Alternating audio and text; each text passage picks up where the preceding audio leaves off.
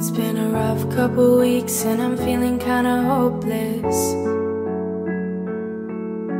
I've tried to explain it, but I can never say it right. It's on the tip of my tongue, but I stutter every time I try. I'm really hoping someone might understand what it's like. Every time I up, I fall back down. My head is spinning, going round and round, and I'm hoping someone might hear me now. Have you ever felt this way? Is anyone even listening? I'm feeling like I'm stuck here all alone. And even though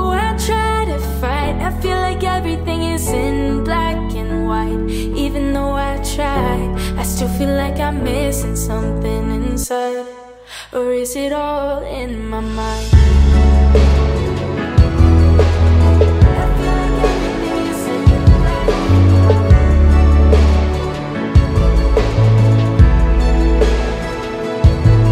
As the time passes by, I feel a little colder. Hoping someone would offer me a shoulder to cry on. Is that too much to ask? The sky's not blue, it's more like gray. And everyone tells me that I should pray. But what if I don't